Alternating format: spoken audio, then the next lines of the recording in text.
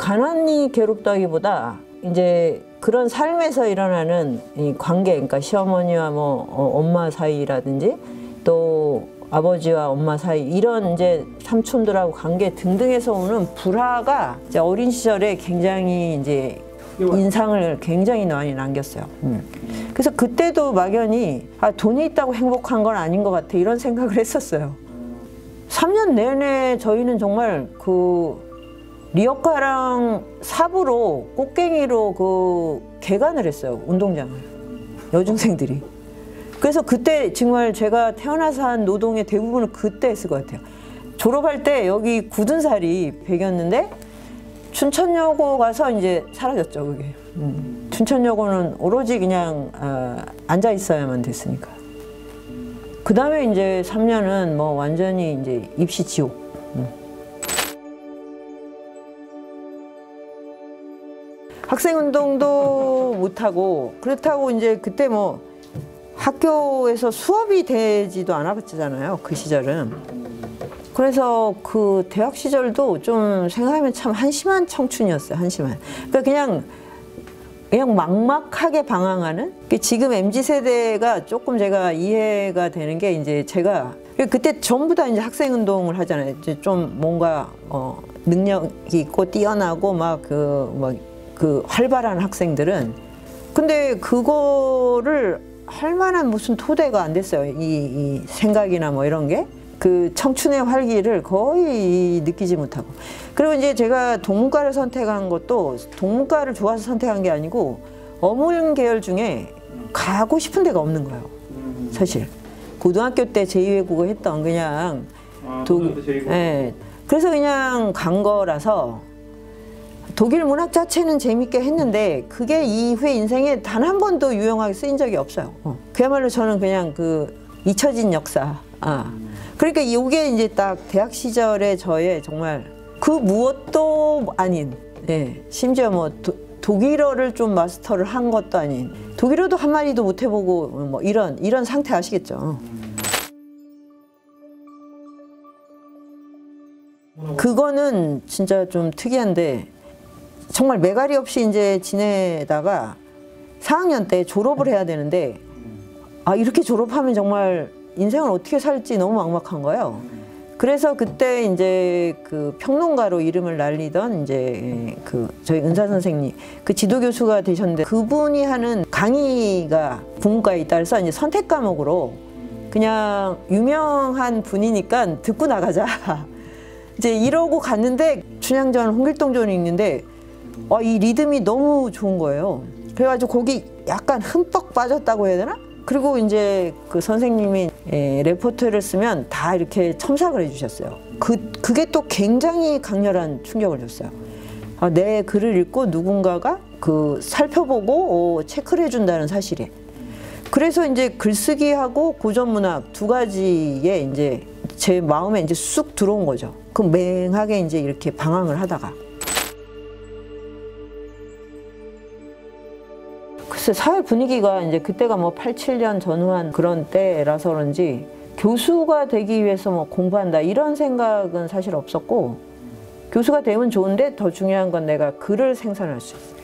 그게 저를 지탱한 어, 아주 큰 동력인데 내가 글을 생산하고 책을 쓸 수 있을까? 네. 그걸 할 수 있다면 어, 어디에도 매이지 않겠다. 그게 첫 번째였어요. 그러면 이제 뭐 교수는 이제 될 수도 있고 안 될 수도 있는 거니까 공부하는 이제 그 10년을 음, 정말 재밌고 유쾌하고 정말 열심히 했어요. 어. 교수는 안 되더라고요. 이거는 뭐 운명이라고 밖에는. 음. 그래서 이제 한 3년 정도 돼서 제가 일방적으로 이제 그거를 어, 포기 선언을 해버렸죠. 이제 흔적을 남기지 않는다. 아, 공간적으로 뭘 쓰고 나면 원위치로 갖다 놓는 거고, 그 다음에 시간의 흔적을 남기지 않는 거. 그걸 이제 약속을 지키는 거죠. 어. 근데 인생에도 비슷한 것 같아요. 예, 그런 흔적을 남기지 않고 살다가 떠날 수 있으면 참 좋은 거죠. 음. 성공이라는 표현은 너무 빈약한 표현이고 내가 원하던 삶의 형식을 갖췄다. 그 점에선 너무 이제 충만하다고 생각하죠. 응. 여기 그 오는 이제 많은 여, 여성이 주류인데 그 여성들이 그 보면 뭐 이제 학벌이 있는 분도 없고 없는 분도 있는데 그냥 그 주부로 있다가 이런 장이 열리니까 공부를 하러 오는데 그 밀도나 강도가 대학원을 다니는 사람들보다 훨씬 강해요. 그건 너무너무 active한 거예요. 제가 엄청나게 강도 높게 그 훈련을 시키거든요. 그 엄청난 일이에요. 한 3년을 외워야 돼요. 그걸 거뜬히 다 해내요. 태어난 이상은 생로병사를 해야 되는데 내가 생로병사를 컨트롤 못 하잖아요. 내가 안 늙고 싶다 이렇게 해서 안 늙어지지가 않잖아요. 그러니까 이게 아주 근원적인 보편적인 어, 괴로움이구나. 그래서 그거를 근본적으로 벗어나는 길을 찾겠다. 그게 이제 붓다가 출가를 한 이유거든요. 여기서 이제 제가 강조하고 싶은 거는 붓다가 그 궁극의 깨달음에 이르렀는데 그게 35이었다. 29에 출가를 했고 12살에 모든 생명체의 괴로움에 대한 연민으로 무아를 경험을 했고 그 요게 뭐냐면 청년기에 이 모든 게 이루어졌다. 이 청년의 파토스는 이토록 대단한 것이다. 그리고 나머지 45년은 그 진리를 계속 어, 모, 만나는 모든 사람에게 전달하는 데에만 썼거든요. 35이면 정말 젊잖아요. 어. 근데 이게 이제 모두에게 불성이 있다라고 한다면 그러면 이거는 시타르타라는 그 개인의 문제가 아닌 거예요. 왜냐 생로병사가 모두의 문제잖아요. 시타르타도 그게 너무 끔찍해서 어, 어떻게 하면 저기서 벗어날까 이렇게 생각한 거거든요. 그러면 깨달음도 모든 존재에게 가능하게 예, 우리가 초기화돼 있어요. 그게 이제 모두가 불다다라는 거거든요. 그러면 저는 지금 청년들이 어떻게 보면 굉장히 뭐 방황도 많이 하고 인생을 허무하게 느끼고 삶의 의지도 막 떨어지고 이러잖아요. 그럴 때 예, 최고의 멘토가 이 부다의 청년기 예, 그거라고 오, 그렇게 저는 이제 연결해주고 싶었던 거예요. 음.